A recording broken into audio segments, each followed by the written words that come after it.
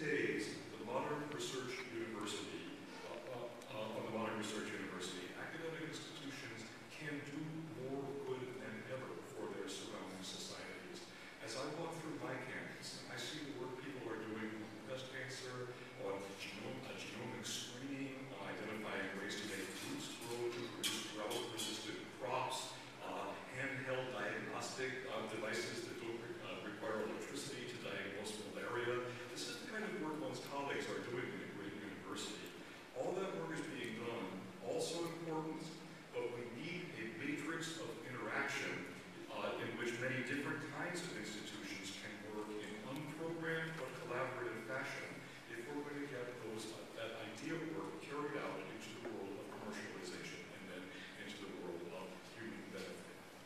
back 50 years and you come to a time when the association of the universities of this area and the research triangle was really notional and, and they were patched together and they just seemed to have something to do with each other. Over time, a deep and